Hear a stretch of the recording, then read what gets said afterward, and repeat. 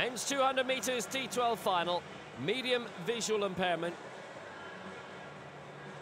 And the two men in the middle, both going for their second gold medal of the Games. Each of the finalists already winning a medal so far. Langenhoven a gold in the long jump, Savon Pineda gold in the 100 metres.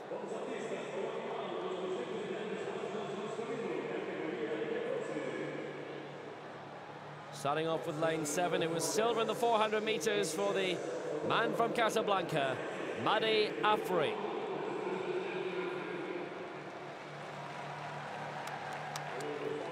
In lane five, the 100 metres champion, and currently the reigning world champion over 100 and 200, Leinier Savon Pineda.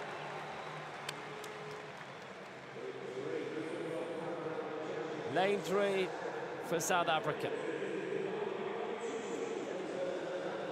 Triple Paralympic Games gold medalist in 2008, including in this 200 metres, Hilton Langenhoven. And in lane one, bronze in the 4x1 for Uzbekistan here, Mansur Abdirashidov.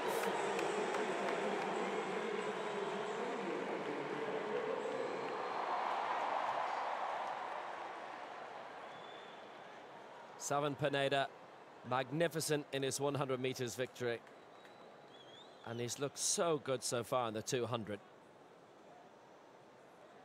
Went through two rounds before this final. Savon Pineda and Langenhoven winning each of their races today.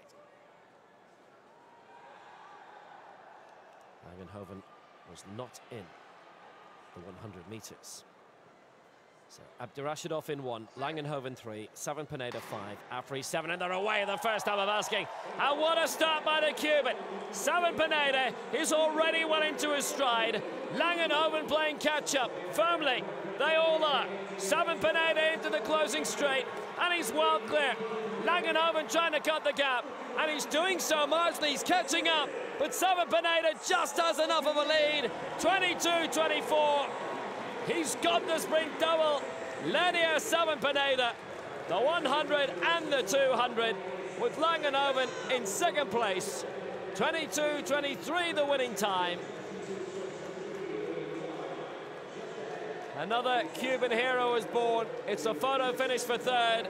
Afri still looking concerned as that third place yet to come up, but now he knows it's him.